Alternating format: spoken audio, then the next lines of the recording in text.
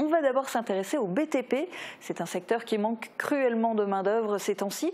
Ça tombe bien puisqu'un nouveau CFA vient de voir le jour à Sarreguemines. Ce matin, les portes de l'établissement se sont ouvertes en avant-première pour permettre aux jeunes du secteur de découvrir les métiers du bâtiment. On retrouve Morane sur place. Raconte-nous comment ça s'est passé ce matin. Oui, alors euh, vous le voyez derrière moi, donc c'est un bâtiment tout beau, tout neuf, qui a été entièrement euh, rénové pour le projet.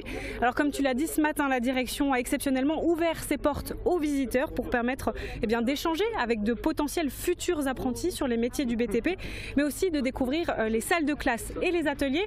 Alors ce CFA va proposer en tout quatre diplômes, quatre CAP, peinture, plâtrerie, carrelage et encore génie climatique. Une aubaine pour le secteur qui connaît actuellement une crise majeure de main-d'œuvre alors, je me tourne vers vous, Pierre Schaeffer. Bonjour. Bonjour. Dites-moi, vous avez déjà ouvert un CFA à Montigny-les-Messes. Pourquoi avoir exporté ça à Sarreguemines? Alors, CFA de de Montigny-les-Messes, c'est un très gros CFA. C'est euh, plus de 1100 élèves.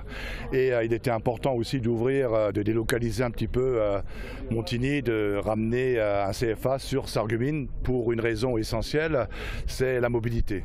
La mobilité, c'est quelque chose d'important. Il faut que nos jeunes, le potentiel de nos jeunes puissent être proches euh, de leur CFA. C'est ce qui a été fait ici. C'est aussi un, pari gagnant vis-à-vis des entreprises parce que plus euh, les apprentis euh, sont proches, plus ils seront proches également de leur entreprise.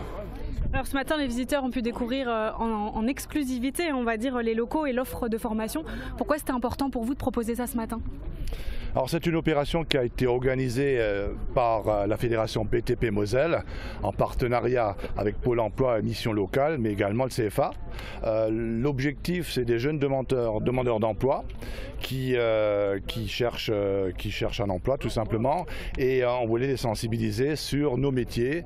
la raison, c'est la raison pour laquelle en avant-première, on a fait visiter nos locaux pour pouvoir, euh, s'ils sont intéressés, les accueillir dans nos entreprises, les former, parce que nos métiers, ce sont des métiers d'avenir, ce sont aussi des métiers, je tiens à le préciser, qui payent. Voilà, des métiers d'avenir. Merci beaucoup, Monsieur Schaeffer, d'avoir été avec nous. Alors, Julia, la rentrée ici, ce sera le 10 octobre prochain. Euh, pour l'instant, la cinquantaine d'apprentis déjà inscrits sont en entreprise. Hein. Ils, prendront possession de leur salle de classe donc la semaine prochaine. Et pour celles et ceux qui souhaitent encore s'inscrire, eh bien, il reste encore de la place pour l'année 2023-2024. Merci Morane et puis merci à Francis pour les moyens techniques. Et puis vous en avez profité pour recueillir le ressenti des visiteurs. Alors on regarde votre micro-trottoir. Pourquoi tu es venu ce matin ici au CFA de Sarreguemines? Ben, Je suis énormément dans la découverte de différentes filières et euh, on m'a dit qu'il y avait le BTP. C'est une filière qui pourrait potentiellement me plaire, donc je suis venue. Et euh, ben, en tout cas, peintre et euh, carreleur mosaïque pourraient potentiellement me plaire. actuellement, j'ai peut-être une formation en soins animalier, mais je suis venu ici découvrir un peu ce que c'était.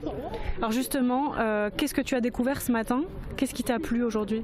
Bah, J'ai découvert plusieurs métiers. J'ai vu que les locaux étaient nouveaux, donc c'est un site bien travaillé, à écouter. Euh, bah, du coup, ils ont présenté euh, tous les emplois du coup à la mission locale.